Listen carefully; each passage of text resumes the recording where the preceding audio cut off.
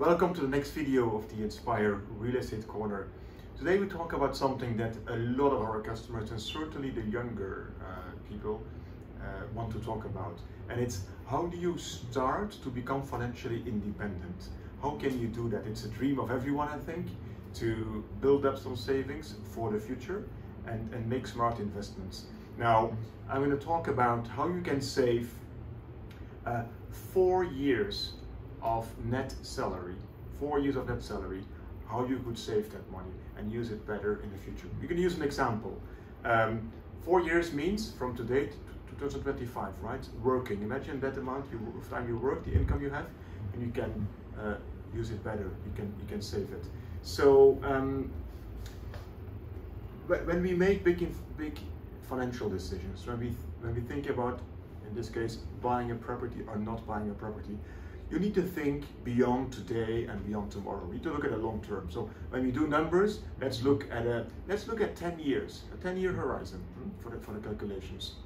Um, because decisions you take to buy or not to buy, or to rent or not to rent, have long-term long-term implications. Or can have them at least. So here's a few examples. Um, imagine you're renting a property in Spain and you pay a thousand euro per month for your property rental contract. That's money for your landlord. That means 12,000 euros per year that you need to earn and pay to your landlord. In exchange, you get a property for those 12 months. You get nothing as of month 13, right? And the money is gone. It's gone from your account. Look at 10 years, that's 120,000 euro. It's a big number. It's a very large amount. Now, that's the cost of, of renting, but look, how do you pay for that? Imagine you have a salary of 2,500 euros net per month. Uh, that means 30,000 net per year. It means that you've got to work four years full time at this salary to pay 10 years of rent. So if your decision is to rent a property, that are the implications. From now to 2025, you're going to be working only to pay your landlord, to make your landlord wealthier.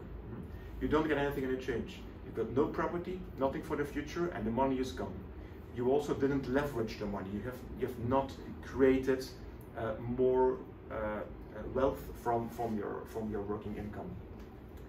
You can say no, but I make more than twenty five hundred. That's fine. Even with five thousand net per month of income, you're still going to be working two full years to pay ten years of rent, uh, and that's a massive number. So.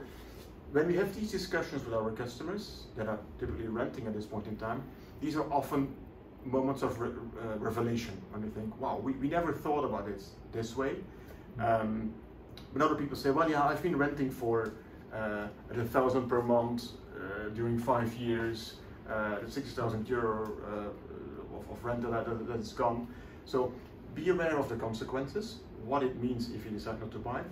Alternatively, with those savings that you have here, um, you, have probably sufficient for a down payment for a mortgage. And it opens doors for starting to create financial independence. You can live in the property, you stop paying rent, you have something for the future, or maybe you buy a property that you might in the future rent out and it even pays back itself. So if you're in this situation, I would like to encourage you.